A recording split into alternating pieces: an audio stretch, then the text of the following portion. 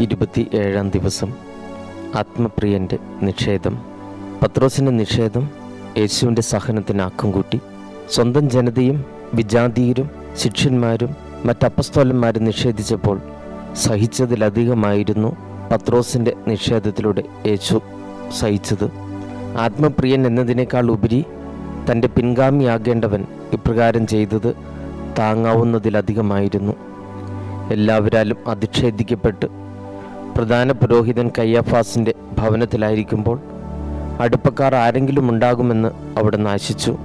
പത്രോസിനെ അല്പം ദൂരെ മാറി കണ്ടപ്പോൾ അവിടുന്ന് പ്രത്യാശ പ്രകടിപ്പിച്ചു. എന്നാൽ അധികം നേരം വേണ്ടി വന്നില്ല. പത്രോസിന് യേശുവിനെ മൂന്ന് പ്രാവശ്യം നിഷേധിക്കുവാൻ. അപ്പസ്വലന്മാരിൽ യേശുവിന്റെ പ്രിയമിത്രമായിരുന്നു പത്രോസ്. യേശുവിന്റെ ജീവിതത്തിലെ പല പ്രധാന സംഭവങ്ങൾക്കും പത്രോസ് സാക്ഷിയായിരുന്നു. പത്രോസ് എപ്പോഴും അമിത ആത്മവിശ്വാസക്കാരനായിരുന്നു. തന്നെക്കുറിച്ചുള്ള അഭിപ്രായം എന്തെന്ന് യേശു ശിഷ്യന്മാരോട് ചോദിച്ചപ്പോൾ തികഞ്ഞ ആത്മവിശ്വാസത്തോടെയാണ് പത്രോസ് മറുപടി പറഞ്ഞത്. കർത്താവെ പത്രോസിന്റെ വീഴ്ചയിലൂടെ അമിതമായ ആത്മവിശ്വാസം ആപത്ത് വിളിച്ചു വരുത്തുമെന്ന് ഞങ്ങളെ പഠിപ്പിക്കുന്നുവല്ലോ.